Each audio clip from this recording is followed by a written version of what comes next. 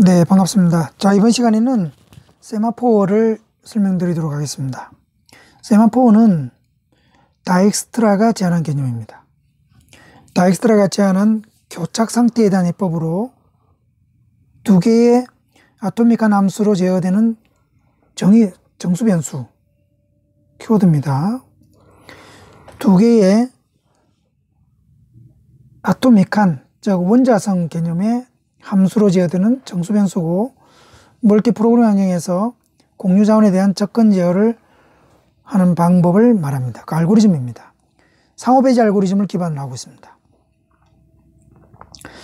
세마포라는 용어의 유래는 보시는 것처럼 그 예전에는 기찻길에다가 깃발 표식으로 기차 이동을 통제했다는 데서 세마포가 유래됐습니다. 그 깃발을 semaphore라고 합니다.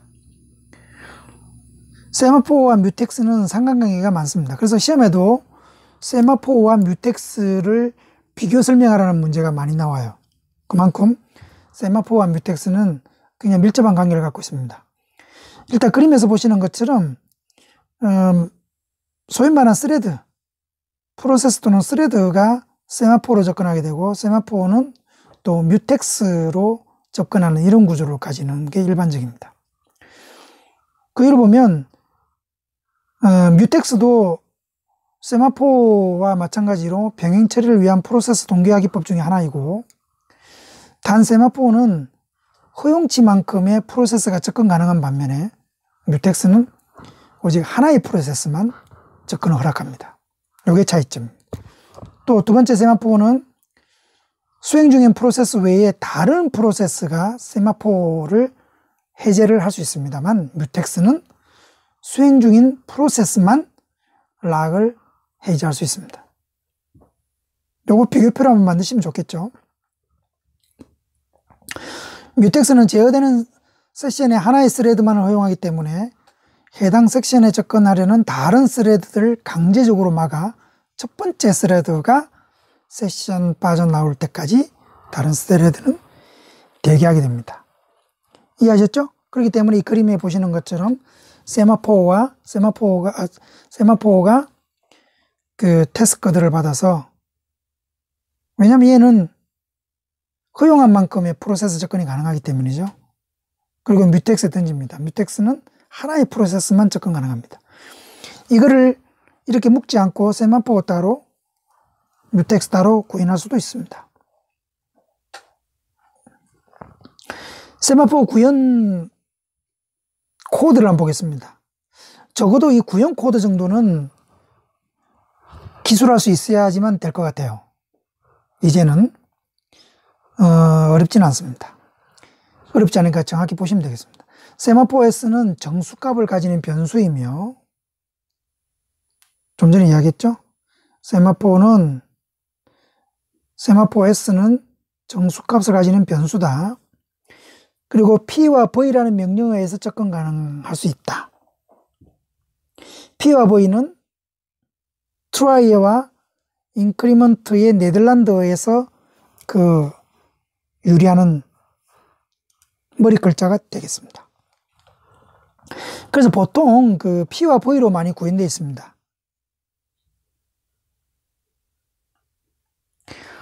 세마포 변수 S는 이럴 때 임계구역에 진입이 가능합니다. 즉 임계구역에 프로세스가 없다는 거죠. S는 0일 때 임계구역 진입이 불가능합니다. 자 여기는 세마포 S는 1 또는 0 예진으로 나눴지만 허용 가능한 프로세스만큼 조율할 수 있기 때문에 S가 1부터 만약에 프로세스 10개 받겠다 그러면 S는 어떻게 되죠? 1부터 10까지 받을 수 있죠. 그러면 임계구역 구역을 별도로 가능하기 위해서 어떻게 되죠? 뮤텍스를 가져다 써야 되는 겁니다. 뮤텍스는 오로지 한 프로세스만 허용되기 때문에 이해하셨죠? 자 여기서 세마포만 구현하겠다 그러면 S는 1 또는 0만 가져야 되는 겁니다. S는 1일 때 임계구역 진입이 가능하고 S가 0일 때 임계구역 진입이 불가능합니다. 자, 그 코드로 한번 보겠습니다. 알기 쉽게 웨이트와 signal로 표현을 했습니다만 wait는 wait는 다른 말로 P로 표현될 수 있고요. signal은 다른 말로 V로 표현될 수가 있습니다. 그것만 차이가 있고 나머지는 똑같습니다. 그러니까 답안지 쓰실 때 wait나 signal로 쓰셔도 되고 PV로 써도 됩니다. 다만 PV가 조금 더 범용적인 용어로 보입니다. 어, 자, 첫 번째 코드부터 보겠습니다. semaphore S, 변수 초기화할 때 초기값 S는 1입니다. 1로 초기화합니다. 그러면 프로세스 PI가 접근했을 때 wait S에 wait S를 호출하죠.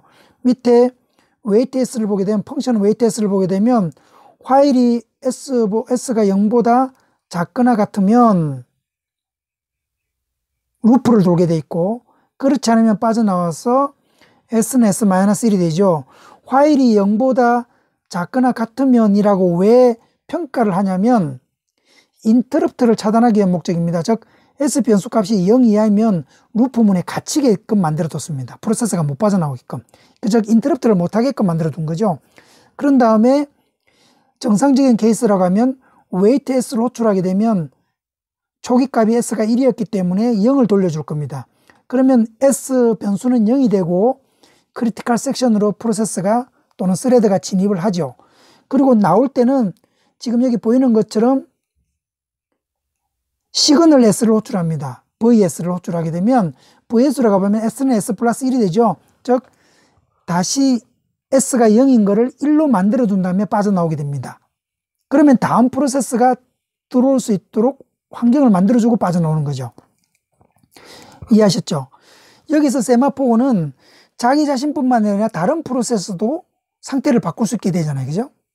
그럼 어떻게 하죠? 결국은 wait나 signal 함수를 다른 프로세스도 호출할 수 있다는 의미가 되는 거죠.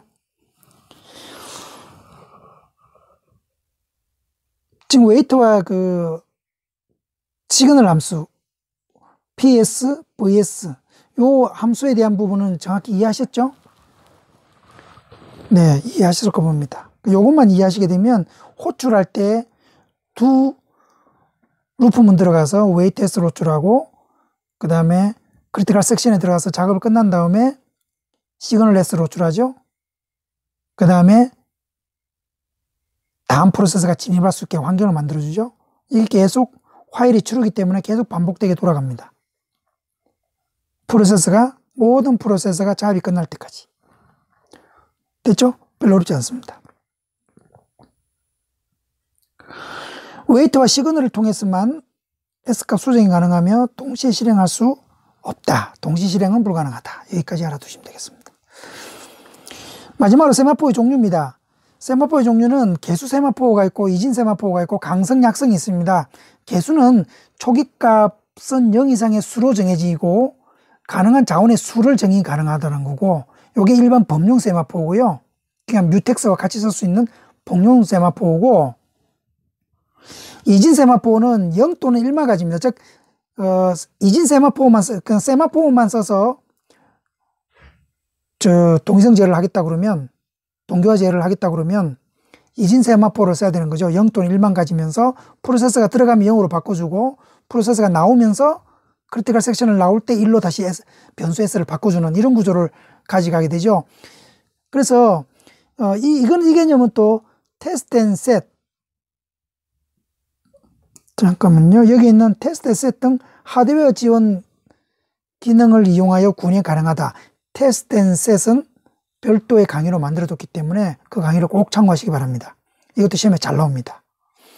강성 semaphore와 약성 semaphore는 강성은 프로세서 wake up 시 Q에서 선입 선출 방식으로 추출하는 거고 약성 세마포는 Q에서 프로세스 웨이크업 순서가 정해지지 않은 기법이다. 랜덤 방식이다. 강성은 선입 선출, 약성은 랜덤 방식이다. 자, 별로 어렵지 않습니다. 제일 중요한 거는 이 강에서 제일 중요한 거는 바로 이 코드입니다.